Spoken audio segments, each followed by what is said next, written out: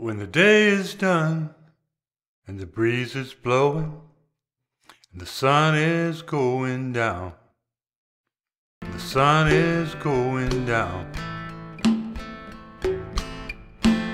Makes me feel more sanctified than anything I found.